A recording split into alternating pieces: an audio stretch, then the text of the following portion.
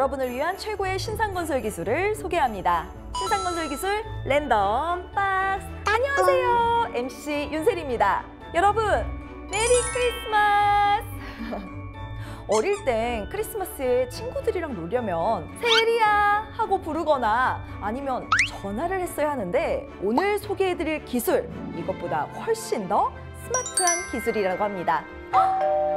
마지막 집들이 손님 빨리 모셔볼까요? 두 분 들어오세요. 안녕하세요. 환영합니다. 네, 저희 집들이 오신 거를 환영합니다. 저희 간단하게 우리 구독자분들한테 자기소개 부탁드릴게요.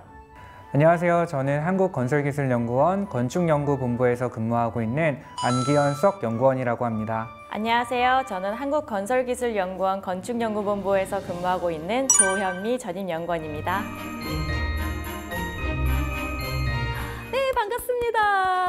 마지막 집들이라고 해서 제가 선물 소박하게만 준비 요청드렸는데 오늘도 이렇게 엄청 큰 선물들을 준비해 주셨네요. 네, 마지막이라 준비해봤습니다. 아, 네, 감사합니다. 우리 선물 상자부터 한번 열어보도록 하겠습니다.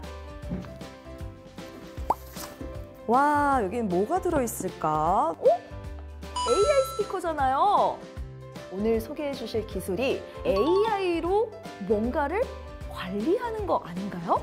네, 맞습니다. 저희가 오늘 소개할 기술은 이 스피커처럼 AI와 딥러닝을 통해 주거 환경을 스마트하게 관리하는 AI 기반 지능형 스마트 하우징 시스템입니다.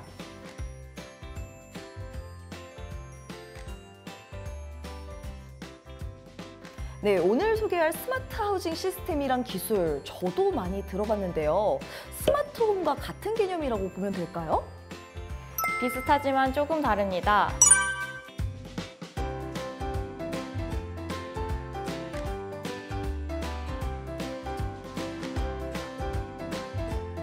어, 네. 어, 개념이 살짝 혼동될 수도 있을 것 같은데요. 건설연표 스마트 하우징 지금부터 차근차근 짚어보도록 하겠습니다. 자, 이번에 개발하신 AI 기반 지능형 스마트 하우징 기술은 어떤 것들을 제어할 수 있나요? 첫 번째로 주거 안전과 관련된 기술에 대해 설명해 보자면 요즘 여러 가지 흉흉한 사건들이 많잖아요. 그래서 크게 화재와 범죄로부터 안전하게 거주자들을 보호할 수 있는 기능을 가지고 있습니다.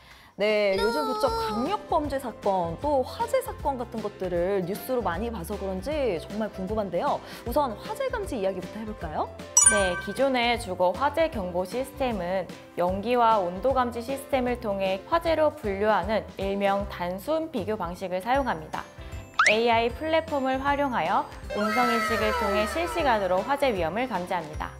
예를 들어 불이 난 걸 보고 불이야 라고 외치면 음성 인식을 하고 건물 총괄 담당자가 확인할 수 있도록 총괄 상황이 모니터에 표출되는 거죠. 오, 네, 이미 학습이 된 뭐 딥러닝 기술을 통해서 오작동도 적고 또 초기 대응도 빨리 할 수 있겠네요. 맞습니다. 어디로 대피하면 되는지 화재 발생 이후 60분간 화재 확산 추이도 예측할 수 있어서 피해를 최소화할 수 있는 것도 장점입니다. 네, 요즘 같이 이제 화재 사건이 정말 많은 겨울철에 꼭 필요한 기술인 것 같은데요. 어, 또 범죄 예방도 AI로 가능하다고 하셨는데 그럼 구체적으로 어떻게 가능한 건가요? 기존에는 방범 안전과 관련된 사고가 발생하고 나서 CCTV를 확인했다면 AI 기술을 활용해서 단지 내에 설치된 CCTV가 사람의 모션이나 제스처를 인식을 해서 폭력 상황을 실시간으로 감지합니다. 그럼 바로 안전요원을 호출하거나 경찰서, 소방서의 협조를 구할 수 있게 되죠. 네, 아무래도 뭐 화재나 범죄도 출동하는 시간까지의 그 골든 타임이 정말 중요하잖아요. 네, 이번 기술은 음성인식으로 신속하게 알려주니까 거주자분들이 정말 안심할 수 있을 것 같아요.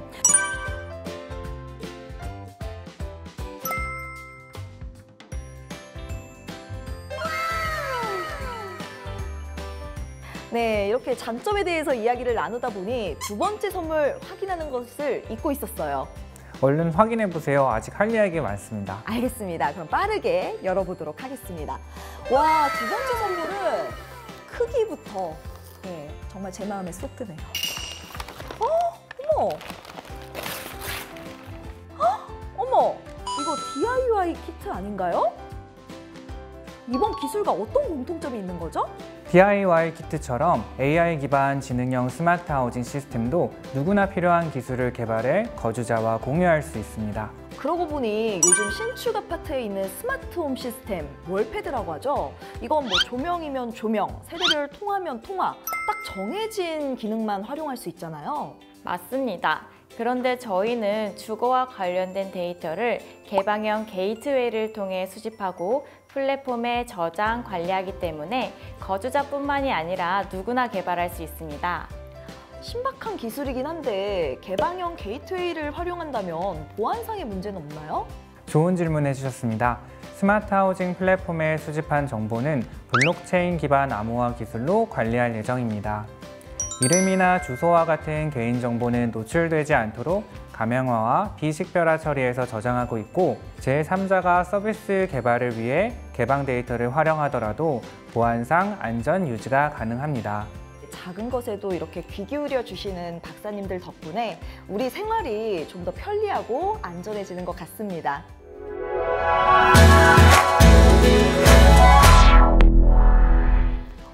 준비했습니다. Welcome 힙! 네, 우리 박사님들 뭘 뽑고 싶은지 생각해 보셨을까요? 저는 문화상품권 뽑고 싶습니다. 문화상품권이요. 와, 뽑고 싶다는 마음으로 한번 뽑도록 하겠습니다. 오, 오 노란 색깔 공을 뽑아주셨네요.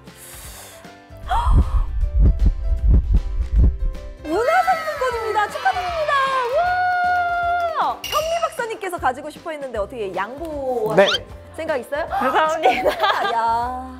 감사합니다. 네, 오늘 가장 행복한 미소를 보는 것 같네요. 신상 건설기술 랜덤 박스. 오늘은 생활의 안정과 편리함을 더하는 AI 기반 지능형 스마트 하우징 시스템을 개발하신 안기현, 조현미 박사님과 함께 봤는데요. 저희 박사님들 오늘 함께 해본 소감 어떠셨나요? 더 많은 분에게 스마트 하우징 기술을 소개해드린 기회가 된 것 같아 뿌듯한 시간이었습니다. 감사합니다. 스마트 하우징 기술을 소개해 드릴 수 있는 기회가 있어서 좋았고 그 마지막 집들이라는 의미 있는 자리에 초대해 주셔서 정말 감사드립니다. 네, 감사합니다.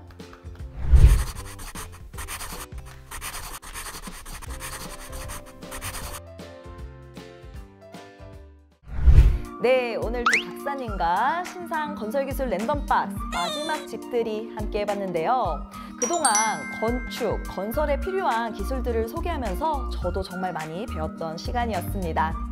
그럼 이쯤에서 인사할까요?